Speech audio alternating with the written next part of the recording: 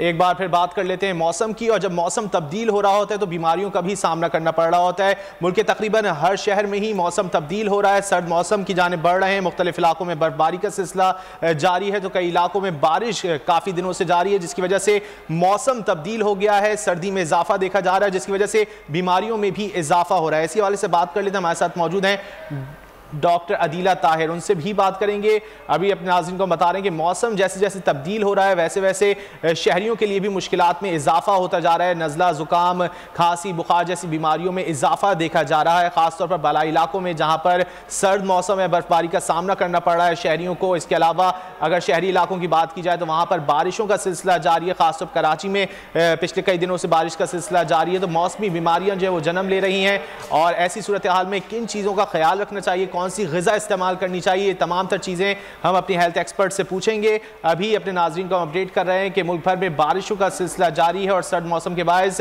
मुश्किल का सामना करना पड़ रहा है शहरीों को। इसी वाले से बात कर लेते हैं डॉक्टर अदीला ताहिर हमारे साथ मौजूद हैं। डॉक्टर साहब, बहुत शुक्रिया आपके वक्त। डॉक्टर साहबा तकरीबन पूरे मुल्क में ही मौसम तब्दील हो रहा है और सर्द मौसम है। इस वक्त किन चीज़ों का ख्याल रखने की ज़रूरत है इस वक्त शहरीों को? वक्त तो स्पेशली आपको जो है बहुत ज़्यादा जो है वो कोल्ड चीज़ें और बाहर का खाना आजकल तो मेरे पास बहुत सारे patients diarrhoea vomiting gastroenteritis pneumonia के साथ आ रहे हैं because of change of weather और अनीमिया मतलब आपकी अगर इम्यूनिटी uh, वीक होगी और उसके साथ आप इतनी ज़्यादा इतनी ज़्यादा कोल्ड वेदर में बाहर जाएँगे विदाउट विदाउट प्रॉपर क्लोथिंग तो प्रॉब्लम हो सकती है और आजकल जो है हमारे हॉस्पिटल में भी नमोनिया के बहुत सारे पेशेंट रिपोर्ट हो रहे हैं। तो एहतियात करने की बहुत ज़रूर ज़रूरत है। स्टीम लेते रहें। दो टाइम स्टीम स्टीम जो है, वो नॉर्मल वायरस को जो है, वो अगर अपने आप का एक्सपोजर हो रहा है सिक्स आवर्स में तो वो उसको जो है, वो फिल कर देती है। तो आपको स्टीम ज़रूर लेना चाहिए आजकल के मौसम में।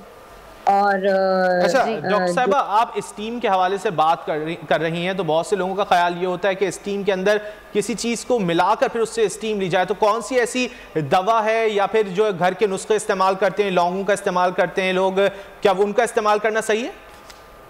वैसे सही है लेकिन बेस्ट जो होता है ना वो प्योर स्टीम होती है क्योंकि उसमें ऑक्सीजन मिल रही होती है जर्म्स को वो अपनी हीट से कर देती है। अगर आप उसको फोर्टिफाई करने की कोशिश करते हैं तो उससे कोई बहुत ज़्यादा कोई वंडर्स नहीं हो जाते अगर आप प्लेन स्टीम भी लेंगे तो नो प्रॉब्लम अच्छा डॉक्टर अदीला ये भी बताइएगा कि कोरोना अभी अब उस पर भी काबू पाना है नमूनिया और है तकरीबन सिम्टम्स एक जैसे होते हैं तो उसको डिफ्रेंशिएट कैसे कर सकेंगे लोग?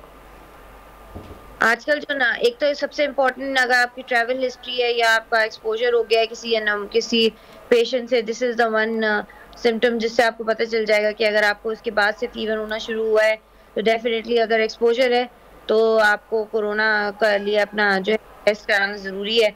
दूसरी चीज़ ये कि जो ओमिक्रॉन वायरस है उसके अंदर जो है वो डायरिया भी कॉमन है ना। Diarrhoea along with with flu and fever तो अगर आपको ये सारे सिम्टम्स अमेलगमेट हो गए हैं मिल रहे हैं दोनों सारी चीज़ें मिल रही हैं तो डेफिनेटली जितना राइज हो रहा है नाइन परसेंट हो गया है तकरीबन कराची के अंदर तो डेफिनेटली कोरोना तो सोचना ही है। डिफरेंशियल डायग्नोसिस में वो ज़रूर आएगा।